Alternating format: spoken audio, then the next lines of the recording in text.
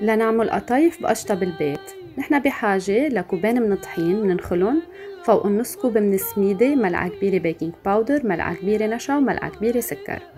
نحركن منزيد فوقهم كوبين ونص من المي مع ملعقة كبيرة من المزهر. نحركهم كتير منيح ليبطل عنا تكتلات ومنريحهم حوالي نص ساعة.